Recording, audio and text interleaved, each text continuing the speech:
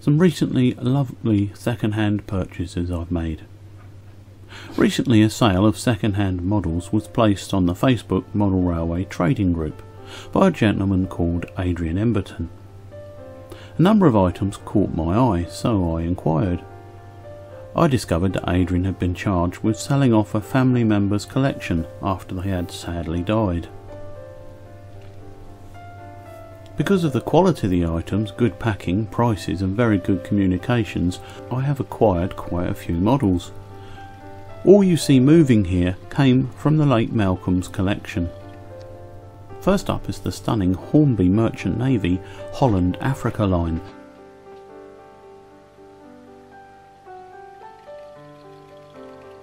Numbered 35023, adding to a growing collection of these fine models.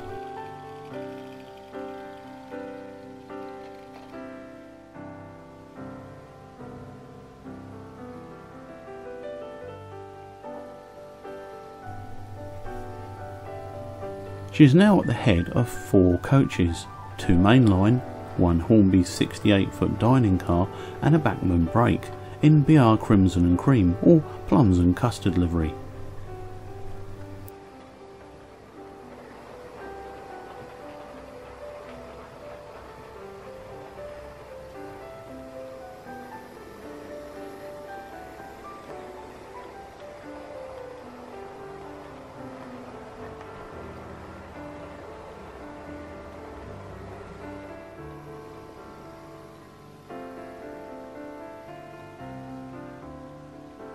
Let's have a slow, close look. Once again, Mainline set the bar very high way back in the 70s, with some remarkable details, such as the first class and smoking stickers on the windows.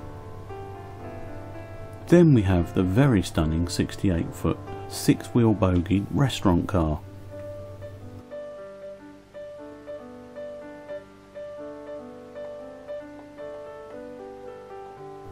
Followed by the Bachmann brake coach, again all very detailed.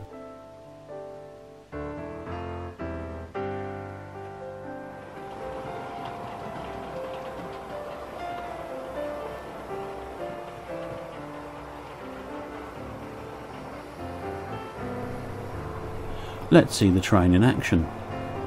All the coach wheels are plastic and I've already ordered metal replacements for them.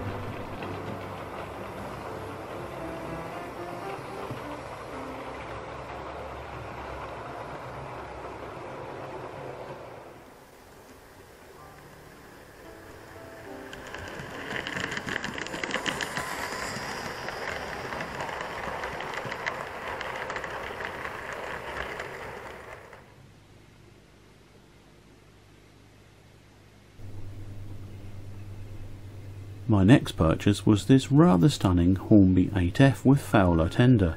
She runs like a dream, so of course I just had to have some 16 ton mineral wagons as well, and luckily Adrian found me these.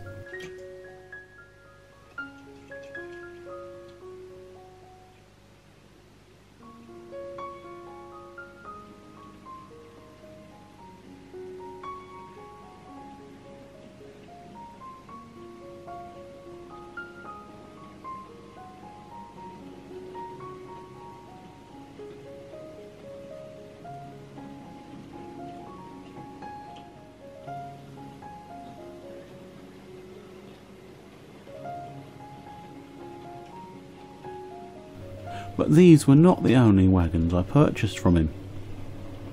In the background you may see some BR bauxite 16 ton wagons. These were also purchased, making a grand total of 17 wagons.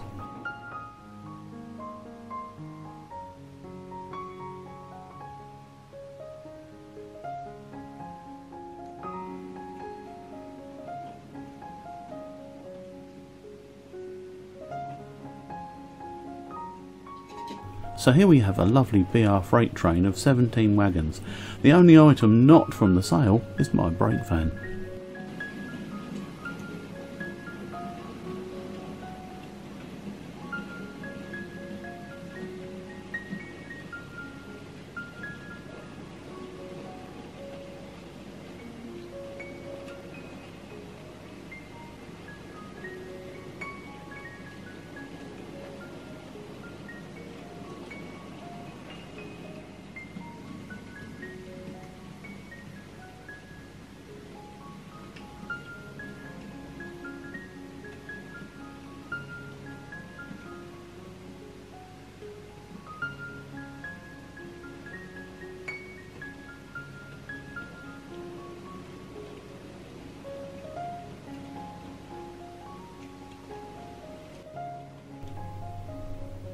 The wagons are mostly by Bachmann, but also include some replica ones. There are some interesting wagons among this set. There are two of these Coalite wagons, maybe a modernised version of the seven plank wooden ones that we all know.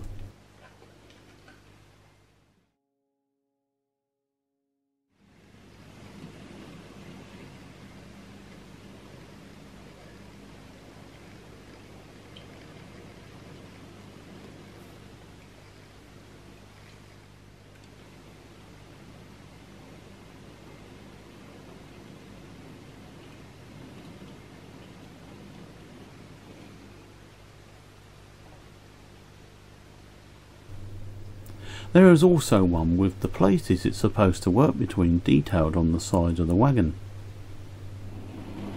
Let's also have a look at this lovely train running and I'll ask you, based on one of my other videos, what might be less than ideal about the train consist and how might it have been done better?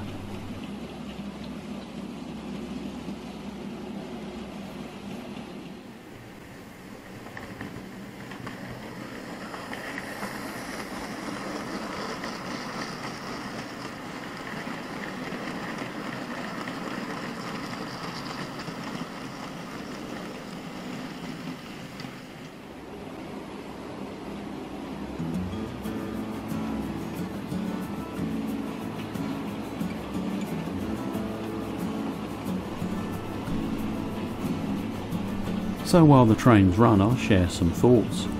I noticed that all the wheel bearings had been oiled, everything was well kept, and even had stickers on the bottom saying the wagon stop number. I got to thinking then that Malcolm was not so very different from me, having a lot of the same tastes, and I admit it, I felt really sad for the loss of this person and the breaking up of his precious collection.